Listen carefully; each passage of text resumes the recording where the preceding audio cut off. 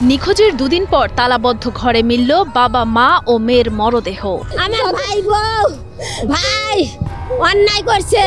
ছোট ভাস্তিও কি অন্যায় করেছে? এই ছোট সাওয়াল তাকে কি মারা নাগে দুর্বৃত্তদের হাতে নৃশংসভাবে খুন হওয়া একই পরিবারের তিনজনের মৃত্যুতে বাড়ি জুড়ে এখন শুধুই স্বজনদের আহাজারি। ফোন রিসিভ করে না ফোন রিসিভ করে না। ভাড়াটিয়া ঘরে বলা হয় ভাড়াটিয়ারা বলে। বাইরে থেকে তালা দেওয়া। চাঞ্চল্যকর এমন মৃত্যুর ঘটনা ঘটেছে সিরাজগঞ্জের তারাশে।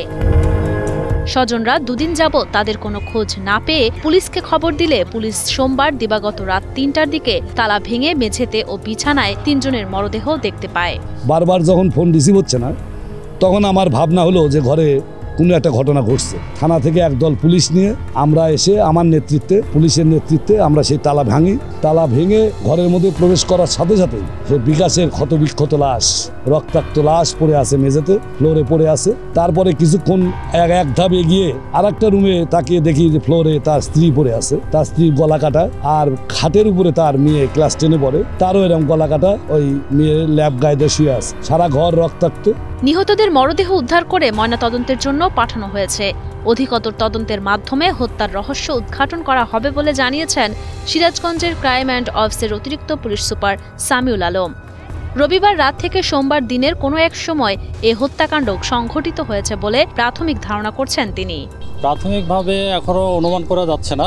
কারণ হচ্ছে যে একটা পরিবারের তিনজন সদস্য তিনজনকে যেহেতু হত্যা করা হয়েছে সেক্ষেত্রে স্বার্থ সংশ্লিষ্ট কোনো বিষয় আছে কিনা বা অন্যান্য কোনো সংঘাত বা পারিবারিক সংঘাত বা অন্য কোনো ইস্যু আছে কিনা এই বিষয়গুলো আমরা খতিয়ে দেখছি। তবে খুব দ্রুতই আশা করা যায় আমরা ঘটনার সাথে যারা জড়িত তাদের শনাক্ত করতে পারব এবং গ্রেপ্তারও করতে পারব ইনশাআল্লাহ। নিহতরা হলেন কালীচরণ সরকারের ছোট ছেলে বিকাশ সরকার, তার স্ত্রী স্বর্ণা রানী সরকার ও পনেরো বছর বয়সী মেয়ে পারমিতা সরকার তুষি সিরাজগঞ্জের তারাস উপজেলার পৌর এলাকার বারোয়ারি বটতলা মহল্লায় তিনতলা নিজ বাসায় থাকতেন নিহত হওয়া পরিবারটি। গত শনিবার সন্ধ্যা থেকে তাদের বারবার কল দিলেও ফোন না ধরায় দুশ্চিন্তায় পড়েন স্বজনরা। পরে স্থানীয় প্রতিবেশীদের মাধ্যমে খোঁজ নিলে জানতে পারেন বাসা তালাবদ্ধ। পরবর্তীতে দুদিন পেরিয়ে গেলেও কোনো খোঁজ না পাওয়ায় তারাস থানায় খবর দিলে পুলিশ এসে বাসার তালা ভেঙে ভেতরে প্রবেশ করে বিকাশ ও তার স্ত্রী কন্যার গলা কাটা মরদেহ দেখতে পায়। দুটার দিকে দুটা শুনলাম শোনার পর থানা থেকে পুলিশ আসার পর মেশিনতে কাটার পর লাশ দেখা গেলো সব গলা কাটা লাশ পড়ে আছে। ভাষায় প্রকাশ করতে পারতেছি না। আমরা এরা আসলে খুব নিরীহ আর সবার সাথে হাসি খুশি ভাবে মেলামেশা করতো। এদের যে এরকম নৃশংসভাবে হত্যা করছে শোনা মাত্র মানে মানে কষ্টে আমরা ভরা দুঃখে ভরাক্রান্ত। স্বজন ও প্রত্যক্ষদর্শীদের ধারণা পরিকল্পিতভাবে হত্যাকারীরা গোপনে ফ্ল্যাটে প্রবেশ করে তাদের হত্যার পর ফ্ল্যাটে আবারও তালা লাগিয়ে পালিয়ে যায়। দ্রুত সঠিক তদন্তের মাধ্যমে দোষীদের আইনের আওতায় আনার দাবি তাদের। অনতি বিলম্বে দোষী ব্যক্তিদেরকে গ্রেপ্তার করে দৃষ্টান্তমূলক শাস্তি দিয়ে তারাজবাসীকে আশ্বস্ত করা দরকার।